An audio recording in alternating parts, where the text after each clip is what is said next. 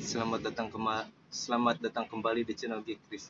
Di video kali ini gue bakalan nunjukin gimana sih caranya ngasah pisau atau golok eh, yang baik dan benar.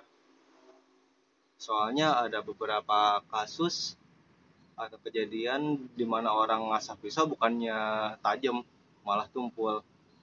Nah, di sini gue bakalan nunjukin caranya untuk asahan yang gua pakai di sini gua pakai batu asahan cap panda dengan dua sisi. Ini gridnya beda. Satu agak halus ini satu kasar. Nah untuk halusinnya lagi gua pakai batu gunung atau batu asahan gunung. Uh, ini untuk mengasah bilah yang gede ini cukup enak cukup direkomendasikan oleh pakar-pakar golok. Kalau untuk ngasah pisau-pisau kecil gue biasa pakai kayak ini. Ini ada urutan gridnya. Misalkan pertama kita pakai grid kasar. Grid yang 180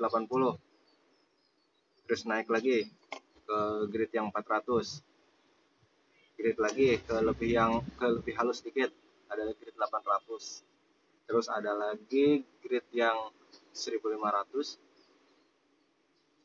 lanjut ke grid 2000 terakhir grid 3000 tapi berhubung di sini gue bakal nunjukinnya.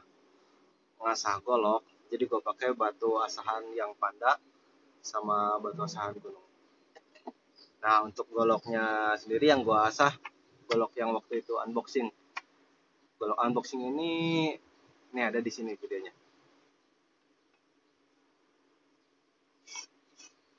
Nah ini bilang.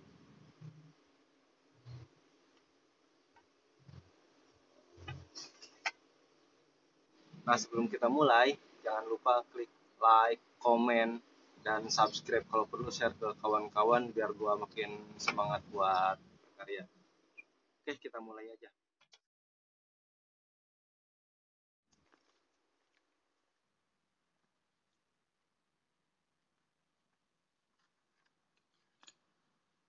Langkah pertama yang perlu kita siapin itu batu asah golok bilah goloknya yang akan diasah, batu asahannya, dan batu asahan gunung.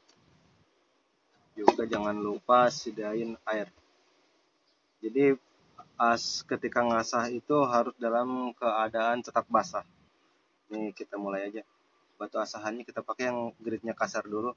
Kita rendam dulu di air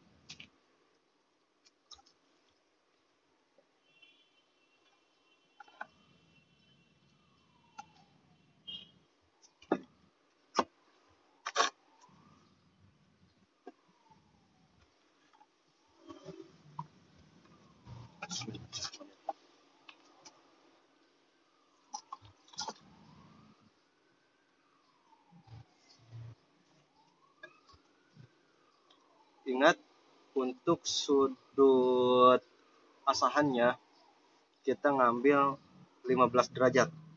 Jadi ini posisi rata naik dikit 15 derajat ujungnya. Cara memegangnya ini di sini ini di sini. Nah untuk ngegosoknya tarik ujung sampai ke bilah sih. Ulang lagi ulang. Kita pertahanin sudutnya supaya tetap di 15 derajat. Jadi jangan sampai ke sini neken ke sini neken ke sini atau ke sini sini. Jadi tetap pertahanin derajatnya segini. Biar dari ujung sini ke ujung sini rata tetap. Perlahan aja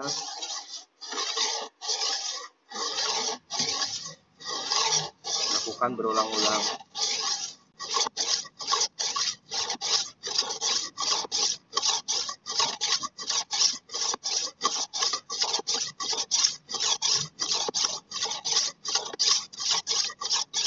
Ada beberapa metode cara mengasah. Ada yang diluruskan dari ujung sini sampai ke ujung sini dengan cara ditarik seperti tadi. Ada juga dengan metode sedikit-sedikit. Nah seperti ini.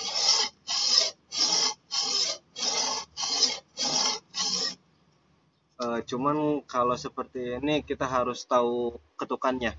Misalkan di ujung sini sudutnya tetap misalkan 15 derajat. 1 2 3 4 5 pindah lagi. 1 2 3 4 5 pindah lagi. 1 2 3 4 5 terus berlanjut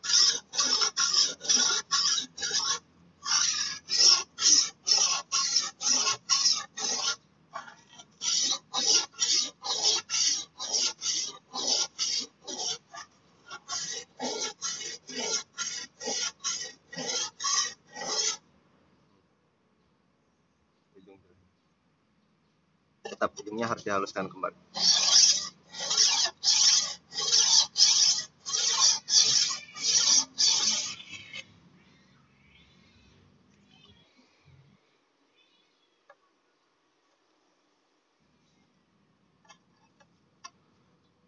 Sekarang untuk di belakangnya.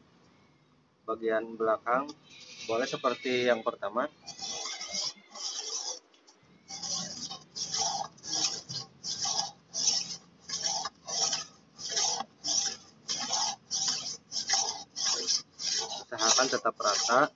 nggak goyang untuk mengatur derajatnya kita pakai jempolnya ini. Derajatnya sudah 15 derajat kurang lebih. Kita tekan di ujung. Posisi tetap rata jangan bergerak jangan bergoyang.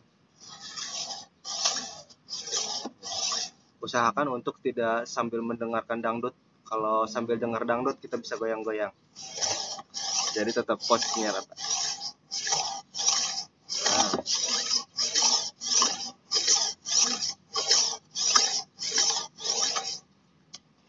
gunanya kita menggunakan grid kasar ini untuk meratakan si bagian bilok. Jadi bagian bilah goloknya itu enggak uh, goyang-goyang.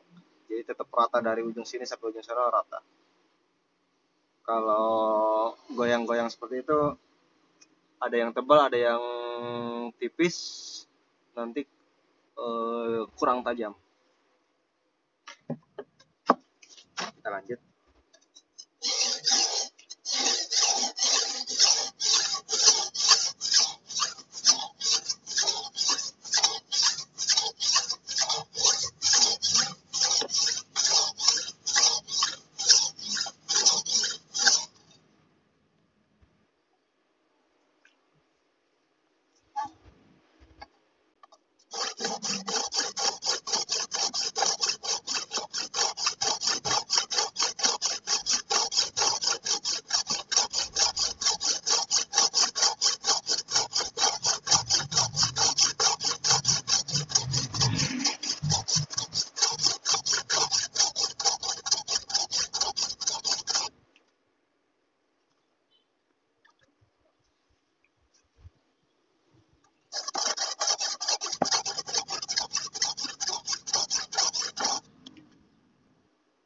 Ketika permukaan kita rasa cukup sudah cukup rata kita ganti dengan batu yang warna merah. Ini gridnya lebih halus daripada grid yang tadi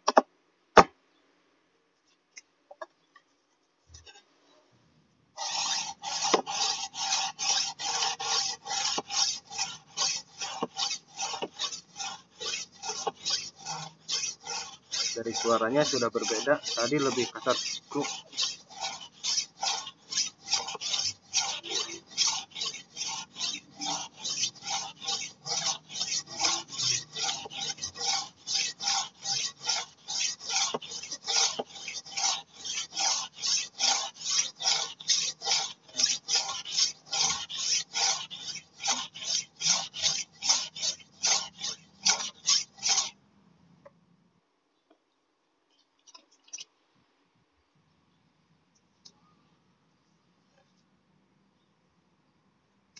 lakukan terus berulang seperti yang di awal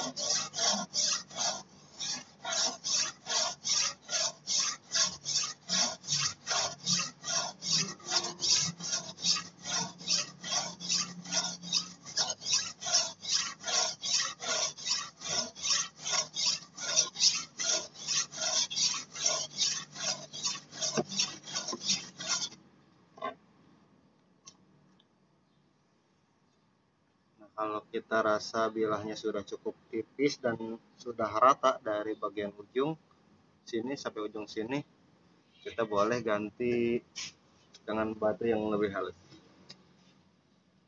Saya jepit di sini biar batunya nggak goyang nggak bergerak.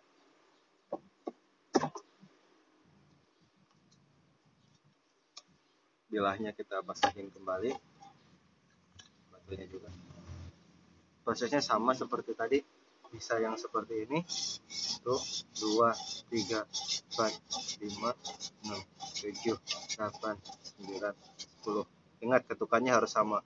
Biar tidak tidak menjadi timpang atau tinggi sebelah. Empat lima enam tujuh delapan sembilan sepuluh satu dua tiga empat lima enam tujuh delapan sembilan sepuluh satu dua tiga empat kita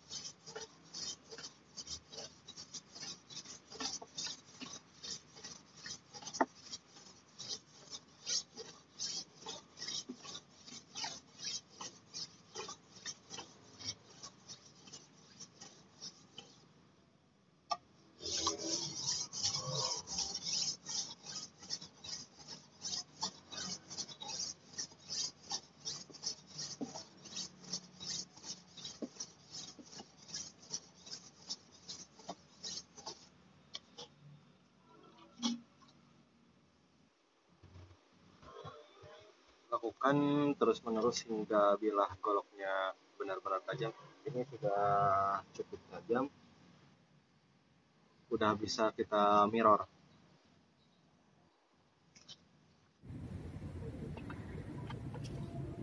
Oke ini goloknya sudah selesai sudah di mirror.